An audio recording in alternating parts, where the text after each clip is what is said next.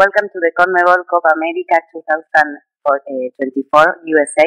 We are here with the coach Heimir Hallgrímsson and the player Kasey Palmer of Jamaica national team. Before the start, please remember it's not allowed to broadcast or record with any cell phone or any device. Remember that you can download the press conference using the QR available in the room. If you want to ask, please raise your hand and wait to be chosen for the microphone. Introduce yourself and the media you belong to. Questions?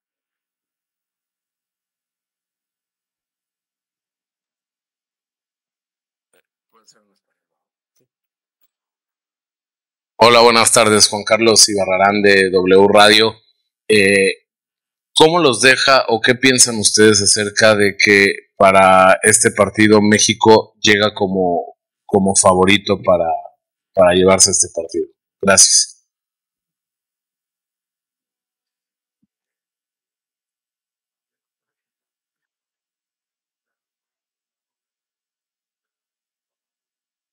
cooker.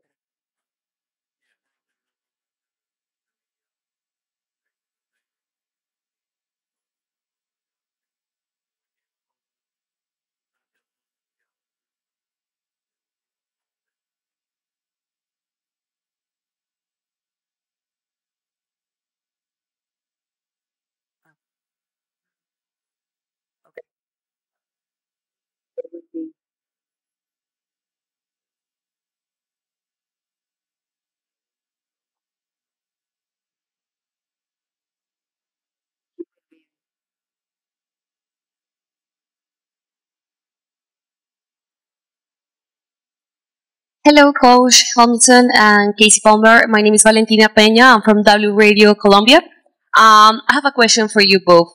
Uh, for the coach, many people in Colombia use the expression Cinderella, la Cenicienta, when they come to the less favorite team. Uh, but I personally do not think it's like that.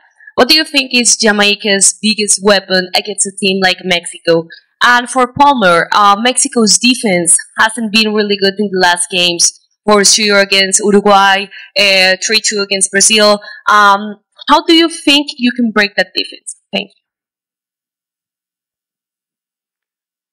First of all, I think um, we are pleased with how we are progressing as a team, not in a specific way. So we are just growing as a team uh, in, in I think all areas of the game.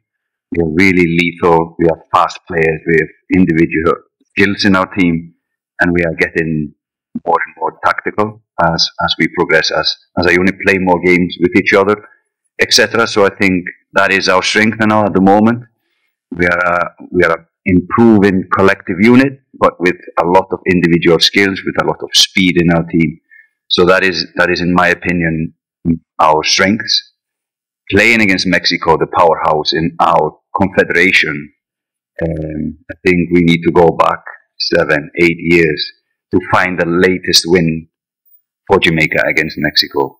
So they are the powerhouse of this of our confederation, and uh, on paper probably more likely to win the game.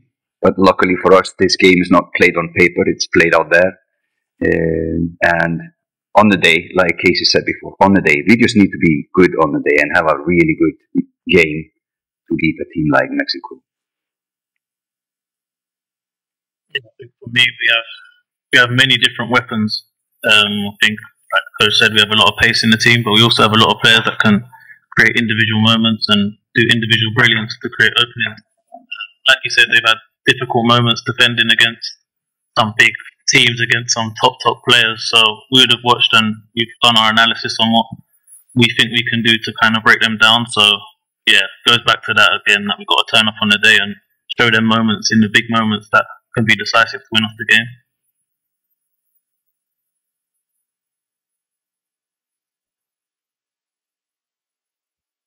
Thank you. Hello, coach. My name is Moises Avila, Agence France Presse.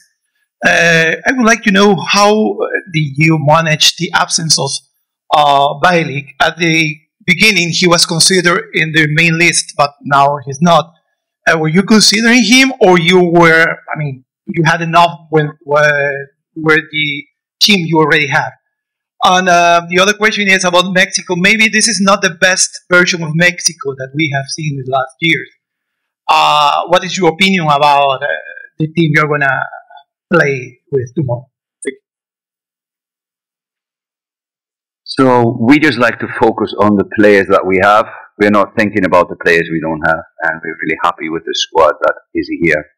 So we, we turn our focus and attention to our players here, and we're quite happy with the with the team. And like we have said before, individual talents in more or less all the all the positions. So there's a, there's a good depth now in the Jamaica team. So happy with that. Mexico will always be Mexico. It's the same style of play, no matter who is playing. There's a little rotation, yes, in, in the squad, but I think the playing style will be the same.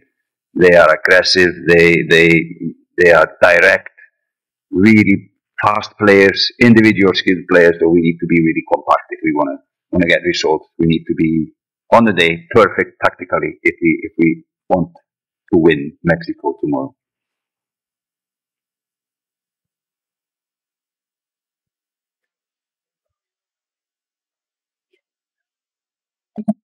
En español. Hola, ¿qué tal? Buenas tardes. Eh, ¿Ustedes creen que es una ventaja que México no haya convocado a jugadores como Guillermo Ochoa, Henry Martin y Raúl Jiménez? Ok. Sí. ¿Ustedes creen que es una ventaja que México no haya convocado a sus estrellas como Guillermo Ochoa, Henry Martin, Irving Lozano y Raúl Jiménez? We will have to see tomorrow.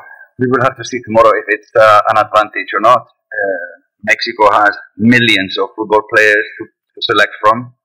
Uh, they have really good league in Mexico. The players that are coming in are, are younger, mostly younger players. So probably thinking about recycling for the World Cup in 2022 as well, giving younger players a chance. So understandable that the, the coach would like to rotate, but I don't think it's an advantage. I don't think it is a disadvantage, not for us, but for Mexico. We'll see tomorrow.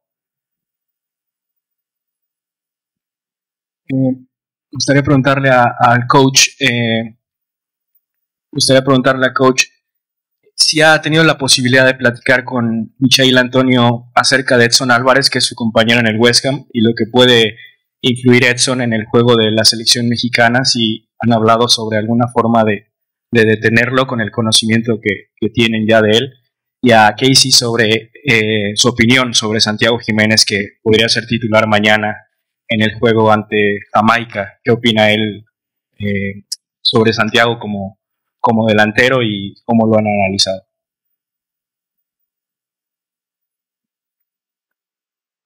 Well, like like all the other players, we, we have been watching more or less every individual in this squad for the last few months. You know them quite well. There's not a weakness in this Mexican team. Not a weakness in this Me- Mexican team. Uh, I'm not sure if my scouts talked to Antonio about him, but uh, I think we, we watch the English league quite a lot, so we know a lot about the players that are playing in England.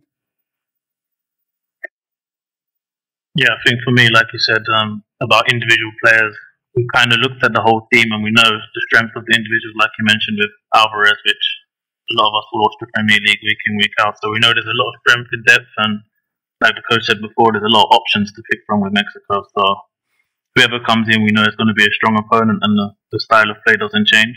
So we're prepared for whoever comes tomorrow. Buenas tardes. Solo quiero preguntarle, he estado viendo la lista, es un Jamaica muy a la inglesa. Eh, pregunto eh, si me puede confirmar si es un Jamaica que, que juega a la inglesa.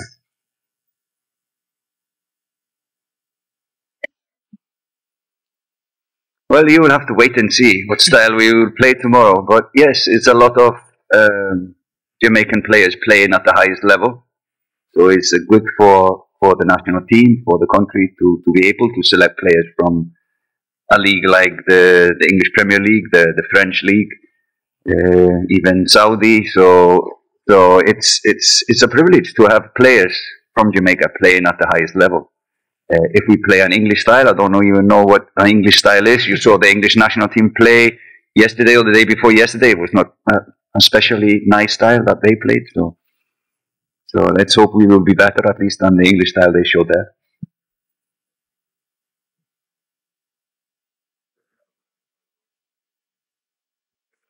En, español, Mariano Sánchez del Diario AS. La selección mexicana no llega en su mejor momento, ya lo, decían, viene de, de, contra Uruguay y de partidos que, que, no dejan un buen sabor de boca en la afición y en los medios. ¿Es esta la gran oportunidad de Jamaica para vencer a la selección mexicana en un torneo importante?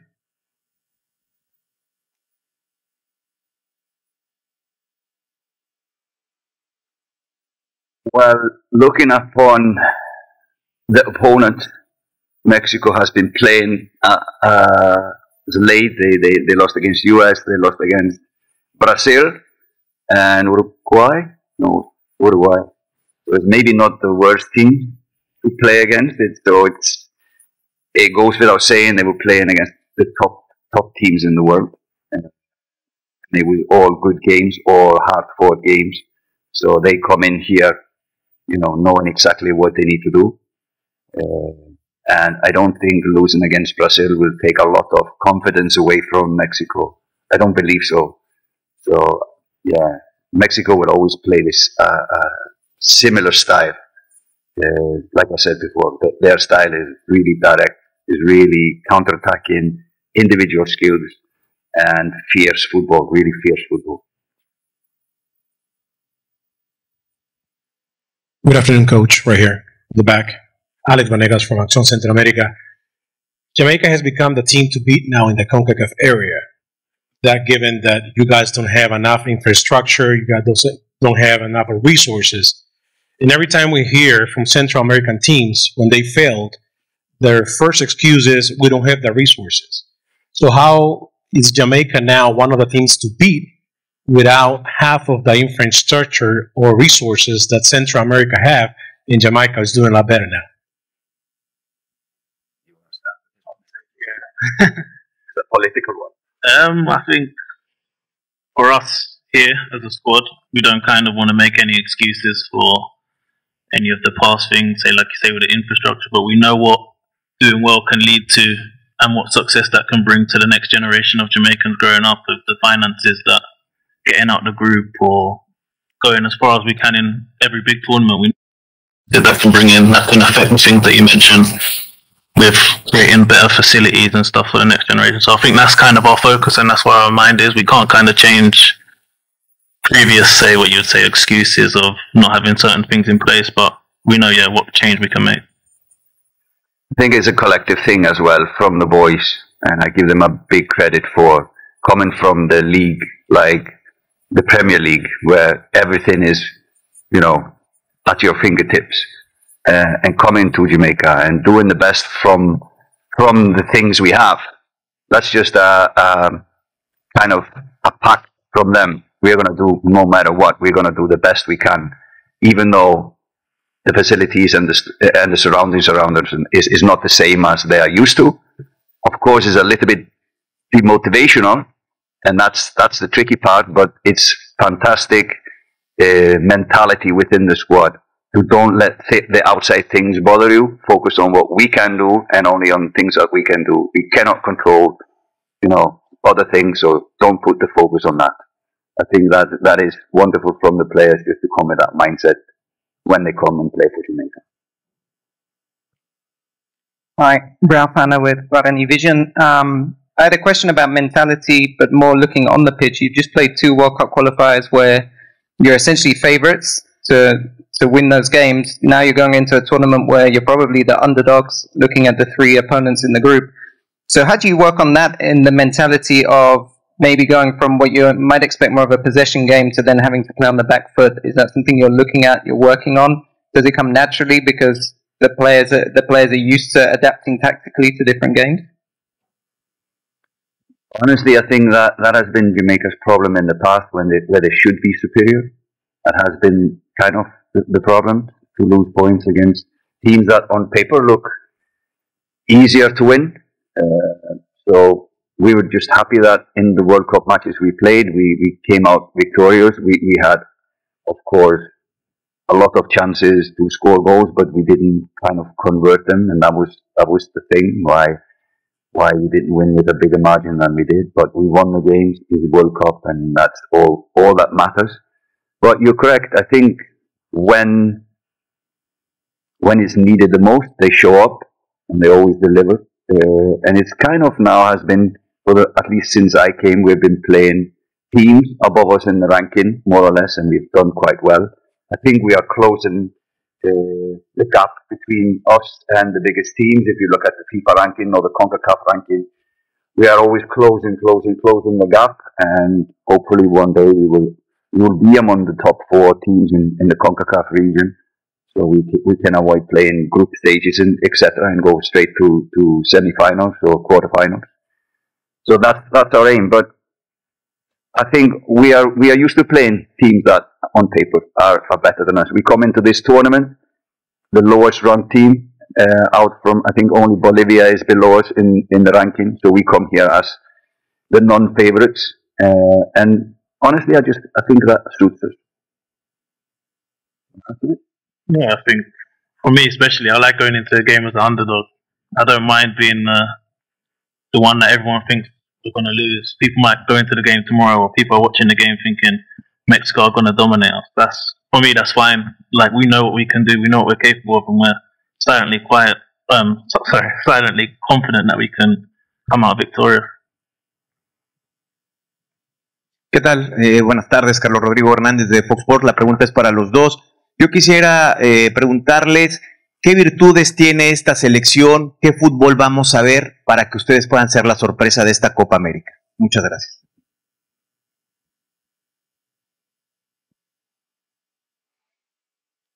Well, it's certain traits that you always need to be successful in football, and especially at this level. You know, for a national team to, to be successful at this level, you need to be well organized. You need to be hardworking. That's the probably the two traits you need to have: focus, discipline, hard work, and then to use what you have uh, as a weapon yourself. In our case, our speed, our individual skills. How can we tactically build the game around that we can then use our our strengths? So yeah, I, I think in general that that is something that every team needs to have, and then plus what you have as an extra, try to implement that in the tactics you know you're playing. Any other question? Thank you very much.